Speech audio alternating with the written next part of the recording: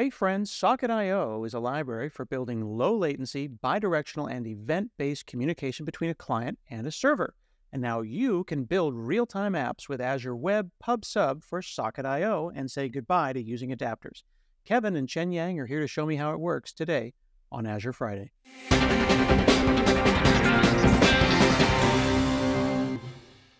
Hey friends, I'm Scott Hanselman and it's Azure Friday. I'm here with Kevin and Chenyang from the Azure Web PubSub for Socket.io team. Hey, how are you, gentlemen? Hi, Scott. How are you? Hi, Scott. Very well. Very well. Excited about this because building real time web and mobile apps is super fun. And now there's an even better way to do it and scale on Azure. So I want to hear what you have to say today. Yeah, so um, over the past several months, we've been working very closely with the uh, open source community of Socket.io and also the core maintainer himself. And now we're in, we are introducing the native support of Socket.io on Azure. Um, would you like to learn more? I'd like to share uh, my screen with you.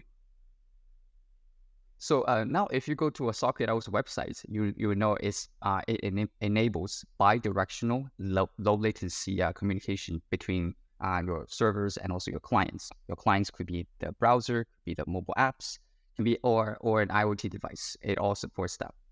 So um, what you can do is um, head over to Socket.io, and then you will see there's a little banner on the top. That is our uh, the indication, the post that we um, uh, we posted on the site, uh, letting the community know how um, the research, the study research we've done previously, and we would like to share the results and how the native support works with uh, Socket.io.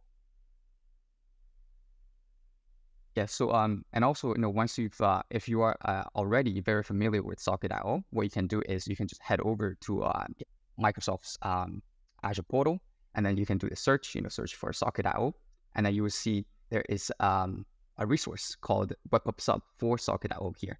And then of course you can just go ahead and create this resource. So we're not going to do this um, on the show today. Um, we've already prepared um, a sample app that we're going to um, share with the Scott and also the audience today. So if I were not using this and I were a Socket.io library user, what would I do? Like, what would be the roll your own version of this? Would I have to make app service plans? I'd have to spin up virtual machines. How would I yes. cobble this together myself? Yeah, that's exactly what you would do. You would use uh, VMs or web uh, web apps, where you will essentially the model is described as self-hosted Socket.io applications. So that means all of the WebSocket connections, or uh, or in another terms, the Socket.io connections will be maintained by you, and these are quite different than the traditional HTTP requests and responses because um, the connection is always persistent, it's always on, uh, that is why it's able to have this bi-directional real-time communication. And that's where the challenge is. Um, we've talked with uh, a lot of users from uh, the Socket.io community. Scaling out a Socket.io application is not that uh, straightforward. And that is something they definitely want, uh, uh, they want to get rid of. Interesting. So if I were trying to do this myself, I would be bumping into scalability issues, renegotiation, you know, protocol renegotiation issues. It's really just not my job as a developer to have to worry about that myself. No, you don't want to deal with that. Let me share a story with you. Uh, so we talked with one uh, one startup founder, and he was using Socket.io. Um, the biggest concern he had was um, he needs to take time off for himself as well, you know, on vacation with his uh, family. But then if he wants to make sure that the app is still running. Uh, if he's self-hosting Socket.io, that will be a constant concern of his, even when he's on vacation. What he would like to uh, do is to build his app, make his service to um, the, the public as soon as possible without really worrying about the state, uh, the stability, availability of his service. And that is what, uh, what the native support of Socket.io on Azure is all about. Scalability, availability, and of course, you've got support from Azure. If being an open source uh, project, you can go to uh, Stack Overflow, you can do uh, searches online. However, it's not really uh, what you're asking for. You want your answers to be answered immediately and effectively. This is a really great example of, of infrastructure as a service versus platform as a service. If you want infrastructure, you can make infrastructure, but then you got to think about it. But if I just want to use the library that I love, I want to use Socket.io and I want it to be awesome, you use a service like Web PubSub for Socket.io and it just works. Yeah, exactly. So um, I, I've heard other people describe it as buying the solution versus uh, building the solution. Building the solution is really cool. Is as developers, we want to build a solution. However, it comes with the maintenance because you have to own it. Everything you own it, you have to build it, and then you have to maintain it. Um, you know, for a lot of cases, especially for a, a communication channel like this, it's it might be better just to go ahead buying the solution because it's not really costly and also it's very very easy to get started. Very cool. So it's easy to make it started. You go into the marketplace, you type Socket.io, you get to this Mhm. point, you create the resource, and then what? Yeah, so once you create this resource, and then you can just add this um, uh, this capability into your app very very easily. However, instead of showing you that, we would like to show you uh, be showing the audience and also you um, a a game that we've built, so that you have a better understanding of what kind of real time experiences can be enabled with a library like Socket.io and get it running on Azure. Is it okay for me to uh, switch to uh, the game? Let's do it. Sounds like fun. Yeah, okay. So the game is called um, Azure Trivia. Um, so yeah, Scott, your name is already there. So uh, let's um, uh, you can just create your uh, you can just log into your account. So I'm gonna log into my account as well. Um, yeah, just before we start, I just want to quickly um, you know explain to the audience how the game works. Essentially, I'll be the host, uh, game show host, um, and then uh, Scott will be a participant. Yang will be a participant, and then of course, you know, if yeah, I've uh, I've already noticed, you know, Yang probably is finding his seat at the bottom not comfortable, so he's switching seats. And also, Scott, uh, if you find your seat, uh, your seat not comfortable, you can switch as well. So you can see these are kind of the real time experiences. Chenyang doesn't have to be uh, refreshing his screen.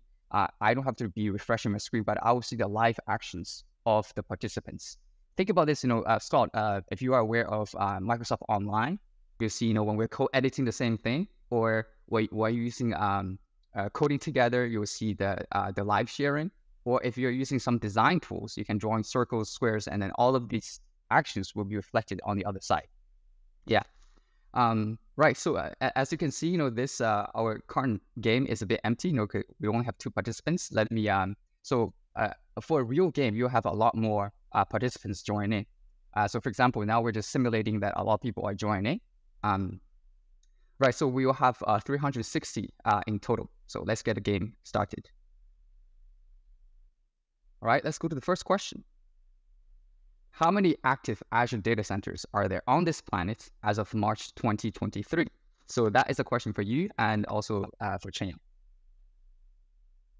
So as you can see, as they've answered the question, so uh, Scott, have you noticed that you have a check mark next to your uh, avatar, and so Chen, you have a, check mark next to your avatar as well. So that is indicating that you've answered the questions. Uh, these kind of because I can't really predict when I write a program, I can't really predict when you are going to answer the questions and how often you're going to switch your uh, your your questions. So you you will see this is all happening in lifetime. And of course, you know uh, you are going to answer the questions, and then some of the other participants they'll be answering questions as well. Okay, so let's see uh, if the real answer for this. It's actually 160. Yeah, uh, Scott, did you get it right? I did get it right. Oh, that's I've good. done enough. I've done enough episodes of Azure Friday that I got this question right. Yeah, that's good. That's good. Okay. So um, uh, we've got four questions left. So we're not going to be doing a lot of uh, explanation, but we just let's just uh, see the flow, how this real time communication is happening on uh, being manifested on this app. Okay, let's move on to the next question. The next question is Azure App Service supports which programming languages?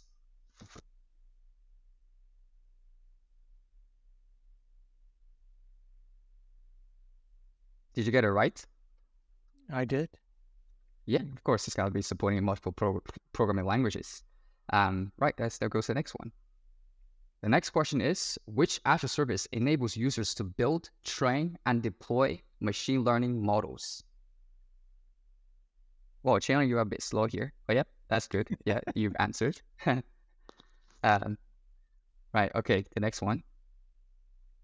So, what are the benefits of Azure's native support for Socket Socket.io? However, you know, we we briefly mentioned some of the uh, uh, the benefits. Just make a guess, you know, Um, because we're gonna be talking more about it um, after this game show.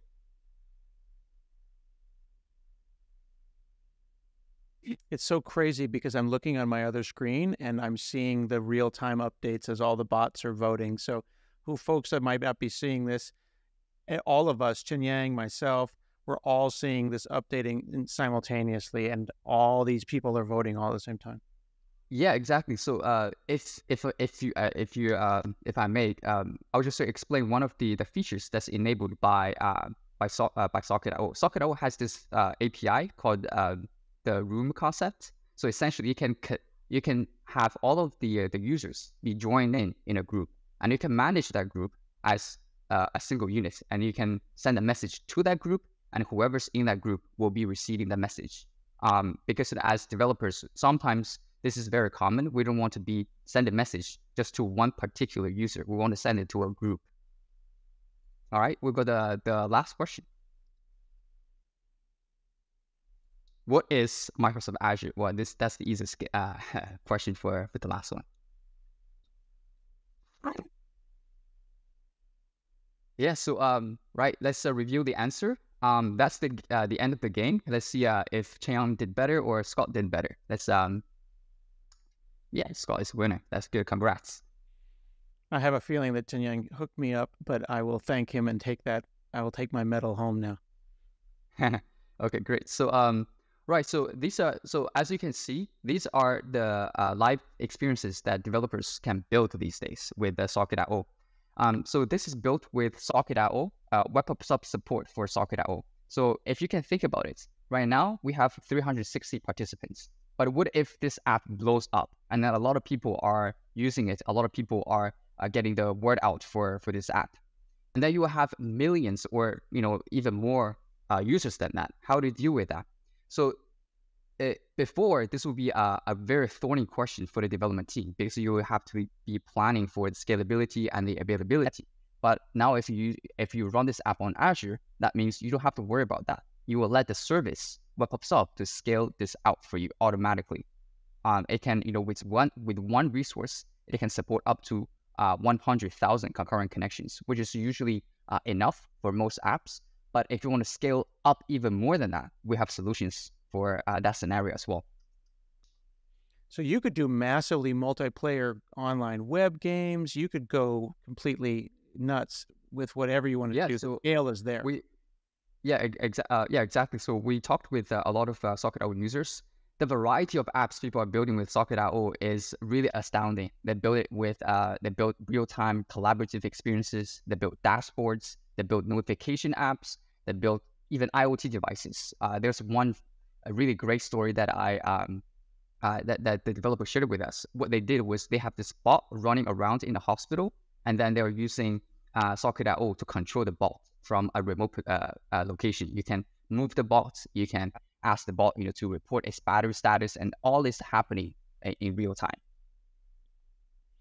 Yeah, this this is really important for folks and and I think application developers to understand the stack here because Socket.io is built on WebSockets. And Socket.io adds concepts, like you pointed out, the room concept. It's not the, the room concept is not a, a WebSockets thing, it's a Socket.io thing. That's what value add. And you're then abstracting away the underlying work of scale underneath that. And Socket.io is abstracting away the underlying connection management work that happens. Uh, that's that's a great, great way to put it. Yeah, and app developers just work work better. And it's all the open web, though. And this is another important thing. I don't want to hijack, but if I could just take a second and show my screen, uh, because I wanted to play around inside of your app here, uh, I decided to use F12 tools. And I noticed here this moment that says WebSocket and this status 101. And one of the things that I did is I zoomed in and I can see here, look, Azure Friday, webpubsub.azure.com using the Socket.io client to talk to the hub. And there it is, web sockets. There's that switch. This is the open web made possible by Azure and by Socket.io. It's very cool stuff. Yeah. So Scott, if I may go back to the previous question you uh, you asked, um, so how this works? It, eh, before before using um, the service on Azure, you will need to be maintaining the WebSocket connections yourself. So your application server or your virtual machine, they will need to handle this. But now, as you can see, this client is connecting with an Azure service.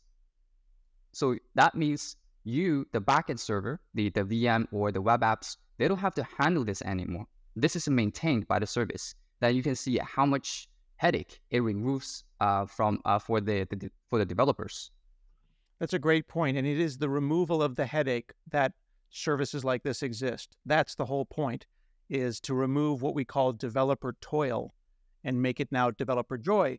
And I assume that that means that if I am an existing Socket.io user, I could move my existing app over in minutes and even seconds over to Azure. Yeah, I would say seconds because you know you will only need to make a few lines of code change. So uh, currently, I'm sharing my documentation page. Um, so if you're interested, if you're an existing Socket.io uh, developer, you can just um, come to this uh, documentation site. It explains how you know um, the native support works and also how to easily um, migrate your app and have it running, you know, uh, from elsewhere or locally and have it run on Azure. This is fantastic. So folks that are doing Socket.io can just go to the docs, get started right now, immediately, and they probably already know how to use this service because they already know how to do Socket.io. Yeah. So Scott, if I may share, uh, uh, you know, a few lines of code change, so you will see. Yeah. This is all they need to do. They just when they're creating a Socket.io um, on the server side, when they're creating a Socket.io server, th- that's the only change they need to do. This is already familiar to the Socket.io developers. They're using the APIs from the Socket.io library. That is the only difference on the uh, server side. And on the client side, it's even simpler. Essentially, you are pointing the endpoint to your uh, WebSocket, uh, uh, Web PubSub for uh, Socket.io endpoint. That's all the changes required for your app. And all the complex, the remaining application logic, they remain the same. Absolutely fantastic. This is a really amazing thing that you all have put together. And I understand that you also work, like you said, very closely with the core maintainer of Socket.io to make this so smooth. Yes, um, we are going to shoot another video with uh, Damien as well. Uh, Damien is a core maintainer of Socket.io. Um, you know, I just I also like to take this opportunity to really thank him for all his support and all the, uh, the feedback that he's provided us over the several months when we were were developing the uh, uh, this feature and also he gave us a lot of context to reach out to the community. And then I, I thank the community members as well. Fantastic. Well, this has been great. Thank you uh, both for spending time with me today. No, thank you for having us on. Much appreciated. All right. I am learning all about Web PubSub for Socket.io today on Azure Friday. Hey, thanks for watching this episode of Azure Friday. Now I need you to like it, comment on it, tell your friends, retweet it, watch more Azure Friday.